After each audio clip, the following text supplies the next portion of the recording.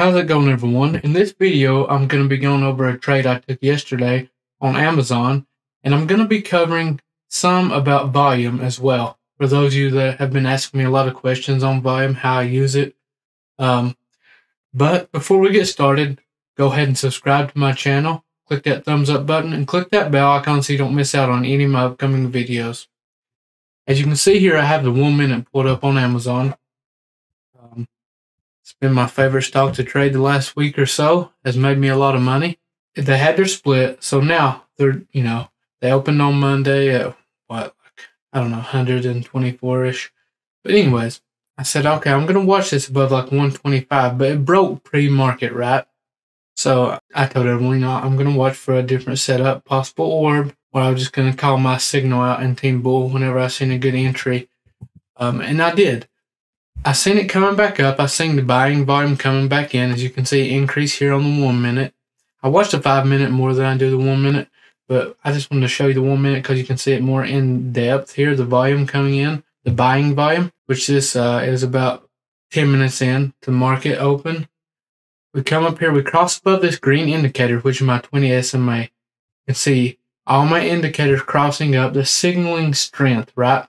With an increase in buying volume, I felt comfortable entering this trade around this 125.1 area once we got above the uh, 20 SMA here.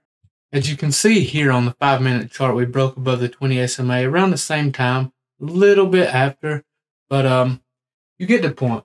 My indicators were crossing up. If we pulled back, um, we had buying volume coming in. Sellers were clearly not in control anymore. I took some calls right here at this 125 area. We had a nice move up. Um, I held some actually throughout the night. But anyways, had a nice move up. Very nice gain.